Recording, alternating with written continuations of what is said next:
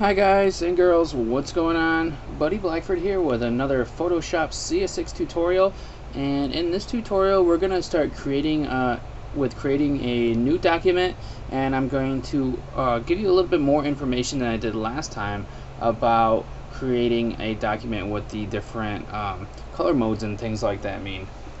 so the first thing we're going to do is come up to File and we're going to come over here to New and Control N is the hotkey for creating a new document. So let's hit New and then we'll get our new document menu. Now before you even start working in Photoshop you need to figure out and pre-plan what you're actually going to make. So there's a couple of things that you need to think of during the uh, planning process. You need to think of what is my um, image or my design going to be used on. So for instance, is it going to be used on full? Is it going to be used on the web? Is it going to be used on print, mobile, or on video? Because um, the different types of color modes and resolution and everything like that is going to be different when you're working with those types of media. For example, when you're creating things online, you need a uh, resolution of 72 pixels per inch and an RGB color mode.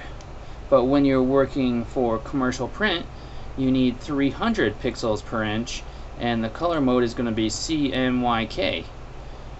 So these are the kind of things you need to ask yourself you need to figure out um, the size of the uh, the object or the, of the project, your resolution, your color mode, your background, um, the color profile, which is uh, down here in the advanced section, um, and then you're going to have to um, think of the pixel aspect ratio that you need.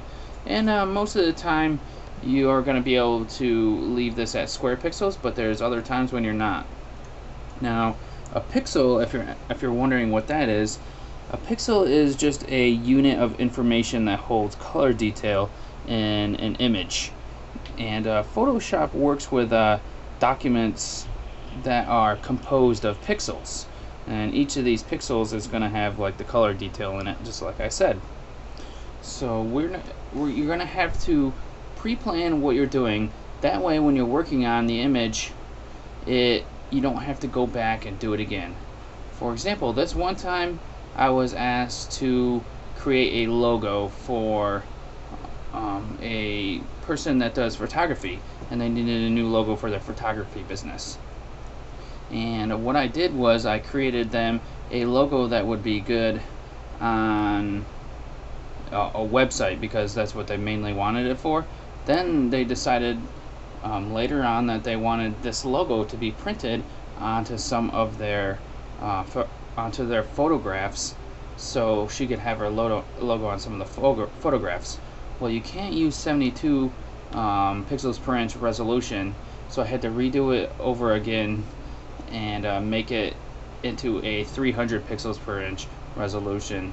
And uh, you just want to make sure that you get everything right so you don't have to do that. Um, I learned the hard way, so I'm hopefully telling you guys so you figure out um, the easy way and don't have to do that again.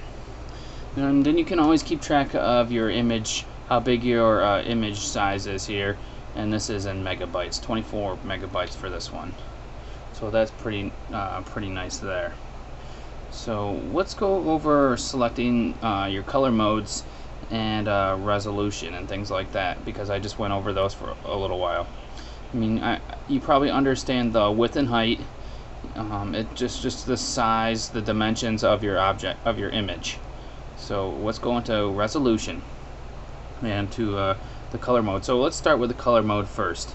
And uh, color mode has also been been called uh, color space, and it determines how Photoshop uh, displays and prints your image. So you can choose uh, from a few different color modes here. We've got bitmap, grayscale, RGB, CMYK, and lab.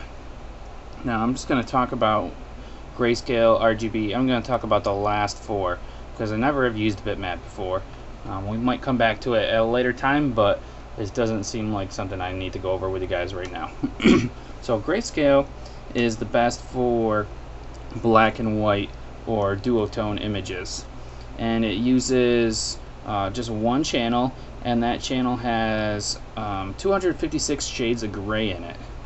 So not like that crazy book. I didn't read it but I heard it was uh, pretty graphic if you know what I'm talking about 50 shades of gray. Well this has 256 shades of gray so you can see how graphic this will get. Uh, yeah yeah dumb joke I know.